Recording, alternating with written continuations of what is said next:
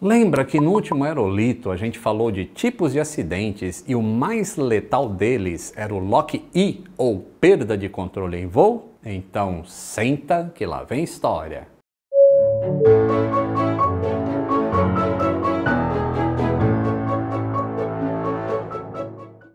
Saudações aeronáuticas, tudo bem? Tudo bem. Posso pedir para vocês darem uma passadinha na loja do Aviões e Músicas para ver as novidades? Então vai lá, loja do aviões e músicas.com.br e siga também o perfil da loja no Instagram, o arroba loja aviões e músicas, que aí você vai ficar sabendo, por exemplo, que existe essa camiseta feminina muito bonita que diz que turbulência não derruba avião. Tá e temos também a masculina, loja do aviões e músicas.com.br. Bem, geralmente aqui no canal a gente foca muito em linha aérea comercial, pois é o tipo da aviação com qual eu tenho e vocês também que nos assistem têm mais contato. Mas hoje a gente vai falar de um acidente da chamada aviação geral. Ele é importante porque tem muitos fatores que servem de aprendizado para a indústria da aviação como um todo. E foi um acidente que marcou a cidade de São Paulo pouco mais de 12 anos atrás. A aeronave em questão era um Learjet 35A, um dos mais consagrados modelos de aeronave executiva do mundo. Esse modelo especificamente não é exatamente moderno, mas é bastante utilizado e popular voa rápido e tem a fama de ser exigente na pilotagem. Ele foi também protagonista no acidente dos Mamonas Assassinas, que você pode ver aqui neste vídeo, um dos mais assistidos do canal. A missão era buscar, depois do feriado, os passageiros que tinham sido levados para Angra dos Reis. Seriam feitas duas viagens, pois o Learjet era pequeno para a quantidade de pessoas a serem transportadas. A primeira etapa de ida e volta do Campo de Marte, na zona norte de São Paulo, até Angra dos Reis,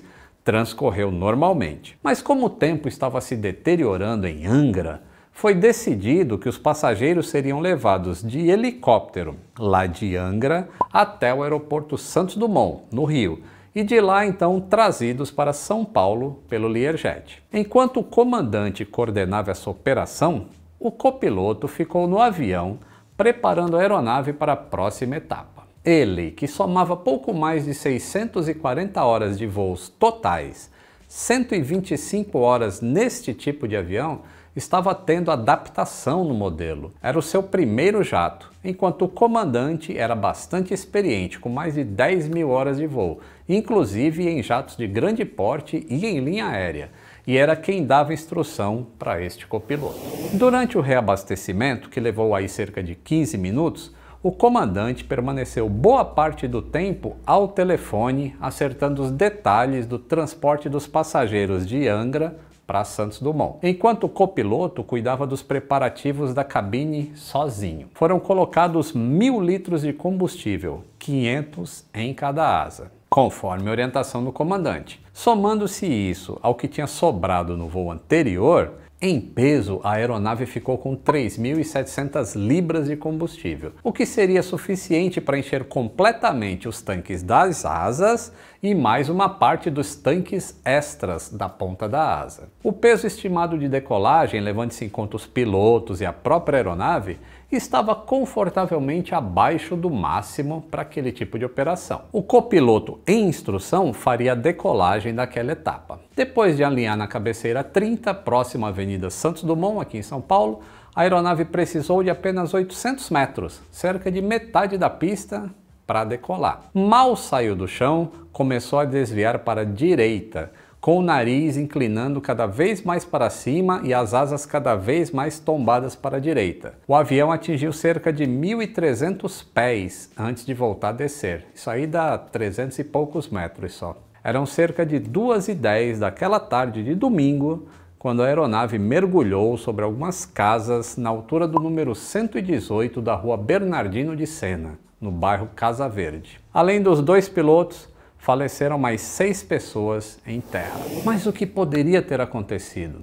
A imprensa cobriu exaustivamente o caso E naturalmente levou meses para o relatório final do CENIPA trazer o resultado da investigação. O que será que havia provocado a perda de controle em voo do Learjet logo após a decolagem? A meteorologia não foi o caso, porque ela estava excelente, não parecia ter contribuído. O campo de Marte operava nos limites de voo visual, com temperatura amena, pressão relativamente alta e chuva leve condições perfeitamente normais. A aeronave estava com todas as manutenções em dia e, embora tivesse sido fabricada em 1981, era muito bem mantida e nenhuma discrepância recente tinha sido reportada. Logo, a possibilidade de uma falha pré-existente também foi descartada. Pelas características dos destroços, não identificou-se qualquer problema aparente nos motores também, antes do impacto. Embora a destruição da aeronave das três casas que ele atingiu tenha sido bastante severa. O combustível usado também foi testado e não apresentou irregularidades. Mas quem trouxe a maior parte das pistas foi o gravador de voz, que felizmente esse avião possuía. Os últimos 32 minutos de gravação revelaram várias características da operação que contribuíram decisivamente para esse desfecho trágico. Em nenhum momento durante o pouso anterior e a decolagem final do avião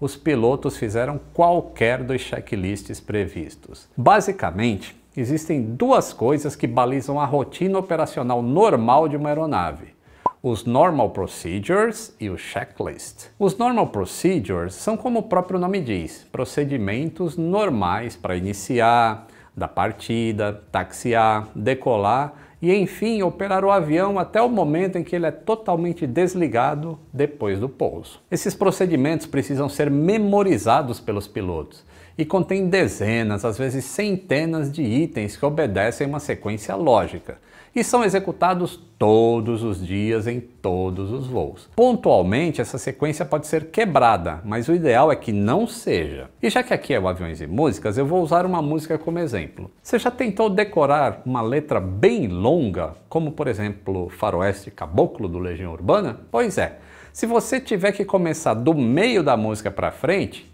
vai ter uma certa dificuldade. Mas se você iniciar no Não tinha medo tal João de Santo Cristo, capaz de cantar 10 minutos seguidos sem repetir e sem errar. A mesma coisa acontece com os normal procedures.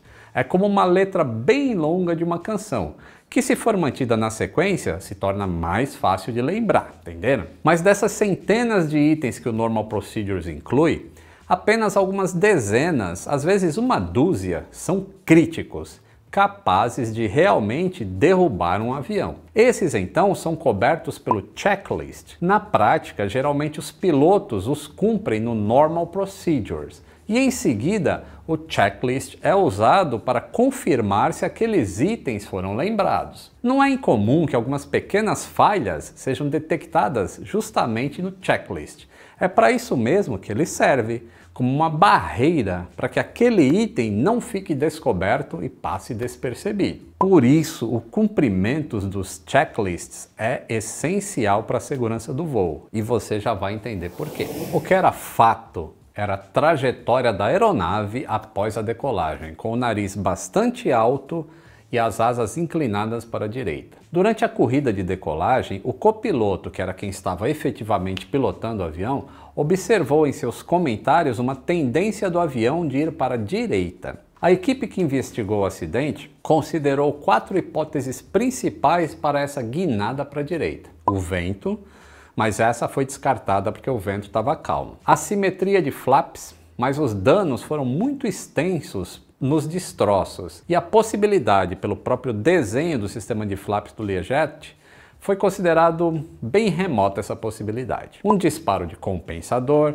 mas esse, além de ser item de memória e que não foi mencionado nem executado pelos pilotos, a análise dos destroços leva a crer que não tenha sido pela posição neutra dos sistemas. E por último, a assimetria de potência, mas a perda de um motor foi descartada pelas características mais uma vez, dos destroços, por nada ter sido comentado também pelos pilotos durante a decolagem com relação a isso. O foco então passou para algo que o comandante comentou nas gravações tão logo o copiloto começou a ter dificuldades para controlar o avião depois de decolar. O balanceamento de combustível. Assim que saíram do chão, o comandante assumiu os controles e disse para o copiloto: "Tá desbalanceado, arruma esse combustível para mim". A partir daí, a equipe do Seripa fez um minucioso estudo envolvendo a fabricante, que descobriu alguns fatos importantes. Embora o manual falasse de um máximo de desbalanceamento entre as asas demonstrado para o pouso, não existia uma diretriz para o desbalanceamento para decolagem. Analisando os sons na cabine, chegou-se à conclusão que provavelmente o copiloto, enquanto preparava sozinho o avião, sem a supervisão e coordenação do instrutor, pode ter transferido combustível suficiente para fazer com que no momento da decolagem os tanques extras na ponta das asas tivessem um desbalanceamento de quase 500 libras, que dá aí 250 quilos, a mais no lado direito do que no esquerdo. Vocês sabem de física, né? Quanto maior a distância da alavanca, maior é o momento da força, criando uma tendência de rolagem bem mais pronunciada para o lado direito. E sabe por que o checklist poderia ter salvado o dia? Um dos itens anteriores à decolagem é justamente relativo ao balanceamento.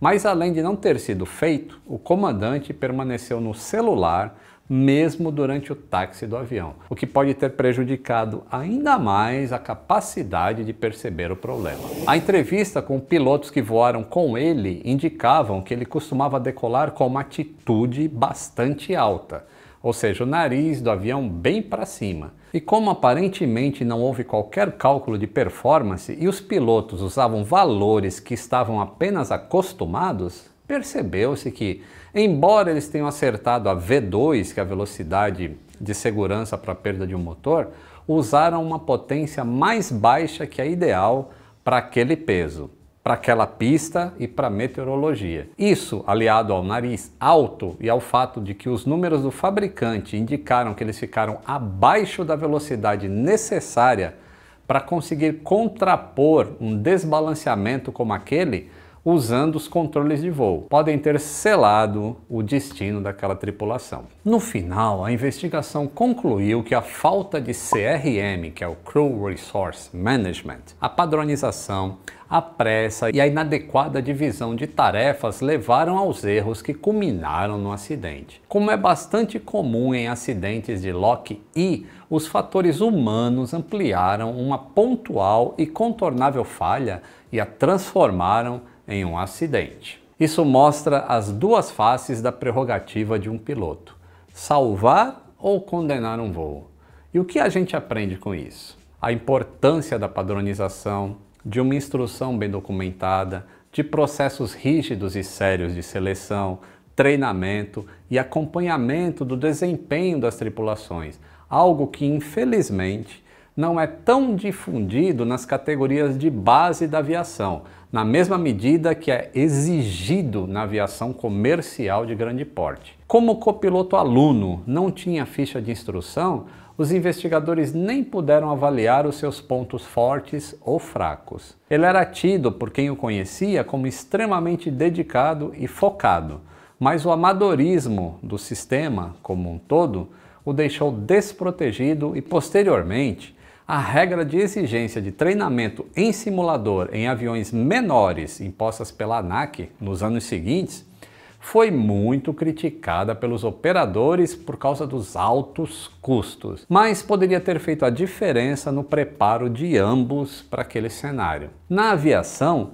não tem muito onde economizar, em especial em treinamento. Da mesma forma, o comandante, que era o instrutor, com mais de 3 mil horas naquele modelo de avião, não conseguiu traduzir essa experiência em segurança. Quando agiu displicentemente durante os momentos que antecederam o voo, ao negligenciar procedimentos, deixou que a complacência pilotasse aquele avião. É uma utopia exigir dos táxis aéreos e outros segmentos da aviação o mesmo nível de segurança da aviação de linha aérea.